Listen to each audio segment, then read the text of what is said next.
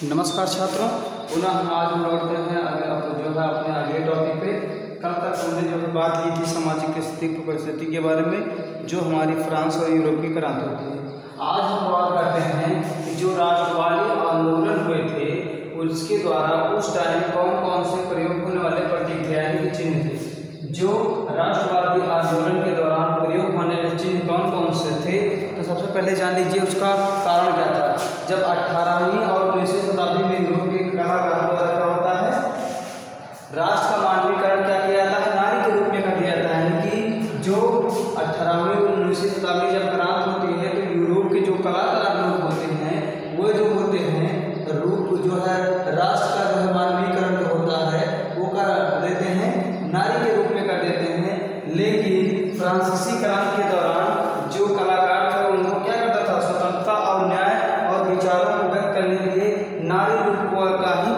करते थे, यानी कि जब फ्रांस की क्रांति हुई थी तो उसके दौरान जो थे, जो कलाकार लोग थे और जो जो जो उनकी स्वतंत्रता थी, न्याय था और विचारों को व्यक्त करने के जो भी विचारों को व्यक्त करने की उनकी शैली थी, वो क्या करते थे? नारी रूपों का ही प्रयोग करते थे, यानी कि जो भी काम करते थे, वो नारी रूपों में ही करते थे। उसके बाद इसी इन्हीं कारणों से क्या होता है, उस पूरे राष्ट्र की छवि क्या हो जाती है नारी रूप में बन जाती है, यानी कि नारी की छवि ही राष्ट्र की रूपक बन जाती है, यानी कि राष्ट्र का रूप दे देती है। तो सबसे पहले आइए हम जानते हैं वो कौन कौन से प्रतीक थे जो जिनके द्वारा हम जो है जान सकते थे कि क्या प्रतीक, क्या चीज़ कहना चाहता है। सबसे पहले देखेंगे, जब ये क्रांत होती है, फ्रांस में क्रांत होती है, उस टाइम में प्रयोग होने वाले प्रतीक कौन कौन से?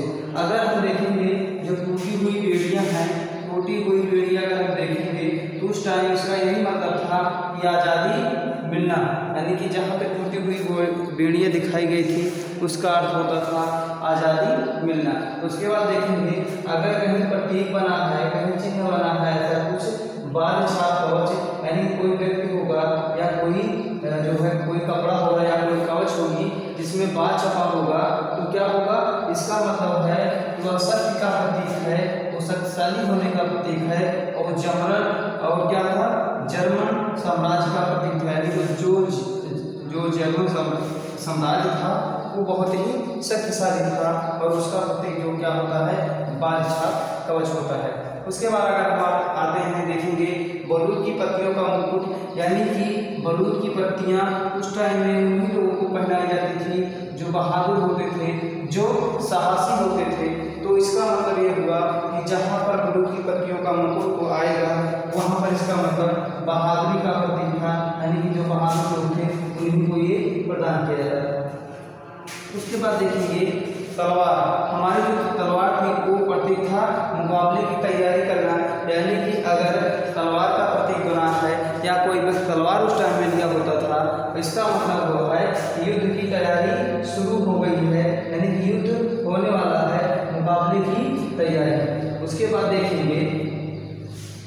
अगला है आपका तलवार में लिपटी जैतून की डाली। कहने का मतलब ये हुआ, इसका प्रतीक था फ्रांसीसी क्रांति के दौरान। इसका प्रतीक था शांति की चाह चाहिए था।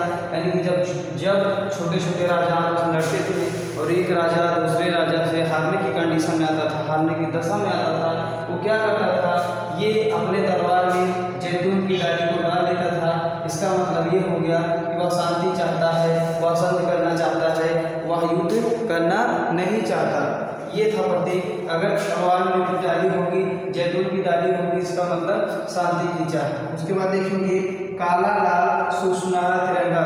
हमने बताया था कि फ्रांस क्रांति के दौरान जो होते हैं, लोग अपने तिरंगे का चयन करते हैं जिसमें तीन रंग होता है, जिसको हम तिरंगा बोलते हैं, ठीक है?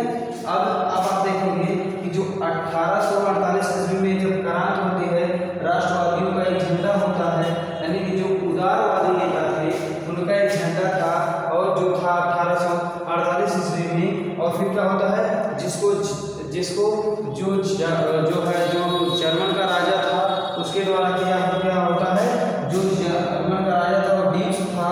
ड्यूक्स ने क्या किया है, उसको प्रतिबंधित करवा देता है। यानी कि कहने का मतलब ये झंडा जो होता है, बंद कर दिया जाता है। इस प्रकार के झंडे से कोई मतलब नहीं है। जब बात आएगी कि अठारह सौ अड़तालीस ईस्वी में क्रांति के जो उदारवादी नेता थे, उदारवादी राष्ट्रवादी थे, उन्हीं का झंडा था ये लाल काला सुनहरा तिरंगा। लेकिन जो जो जर्मन का राजा ड्यूक्स था वह है झंडे को प्रतिबंधित करवा दिया था। उसके बाद आप देखेंगे कि उगते सूर्य की किरणें एक एक प्रतीक था उगते सूर्य की किरणें। उगता हुआ सूरज हुआ करता था और क्या था? उस, उसकी किरणों का प्रतीक बनाया गया था और इसका अर्थ होता था कि नए युग का सूत्रपात। यानी कि उस टाइम जो युद्ध हुआ था जो लड़ाइयाँ हुई थी तो नए युग का शुरुआत कि अगर उगते हुए सूरज का प्रतीक बना है इसका मतलब होगा? नए युग का सूत्रपात उसके बाद आएँगे अब हम कि उस टाइम में नेपोलियन कौन थे? गैरीवाल्डी कौन था? काबूल कौन था? इस प्रकार के महत्वपूर्ण जो है टॉपिक पर आएँगे। सबसे पहले आइए हम देखते हैं नेपोलियन के बारे में। ये बहुत ही इम्पोर्टेंट है, बहुत आप लोग ज़्यादा से ज़्यादा कोशिश करें इसको जो है पढ़ें। चलिए, अगला है नेपोलियन। आप देखेंगे कि नेपोलियन कौन था? Napoleon Napoleon. ये जो नेपोलियन था, ये फ्रांस का क्या था? फ्रांस का फ्रांस का क्या था? ये सम्राट था। नेपोलियन जो था, वो फ्रांस का सम्राट था और उसने क्या की थी?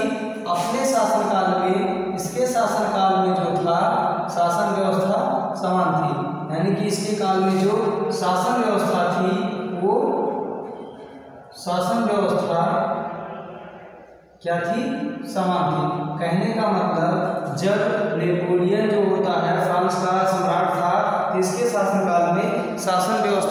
समाज होती है, लेकिन क्या होता है, फिर भी मध्य के विश्व के कई देश, जिनको यूरोपीय शक्तियों ने अपनी शक्ति के बल पर अपना देश लेकिन फिर भी कई कारणों कारण इसके ऊपर जो होता क्या होता है, आक्रमण होता है, और क्या होता है, आक्रमण होता है, और इसके कुछ क्षेत्रफल पर क्या हो जाता है, उनका कब्जा हो जाता है। ठीक है? उसके बाद देखेंगे, इसने क्या ये सभी अपने अपने देश में स्वतंत्र राष्ट्र की स्थापना हेतु संघर्ष कर थे। कहने का मतलब ये था, जो जो नेपोलियन था, वो क्या था, फ्रांस का सम्राट था और उसने अपने, और उसके शासनकाल में क्या थी, शासन व्यवस्था जो थी, सामान्य थी, वह अपने अठारह सौ चार नागरिक संहिता के विशेष रूप से करते थे। यानी कि उसकी एक आचार संहिता बनी थी, उसकी एक आचार संहिता बनी थी, आचार संहिता बनी थी। जिसको बोलते हैं अठारह सौ ईस्वी में। अठारह सौ ईस्वी में अपनी एक आचार संहिता बनाया था, जिसको उसने क्या किया था? उसी के लिए इसको विशेष रूप से जाना जाता है। उसके बाद देखेंगे, इसी संहिता के नाम को, कानून के सर्व समानता, संपत्ति के अधिकार को सुरक्षित करना इसने क्या कहा? कि सबके लिए समान कानून होगा और संपत्ति का अधिकार जो था, इसके लिए क्या किया? इसने बताया कि संपत्ति का अधिकार सबके लिए सुरक्षित होगा। ठीक है? अगले वीडियो में पुनः हम जो है आप, आपको पढ़ाएँगे गैरी बाल्टी के बारे में। धन्यवाद।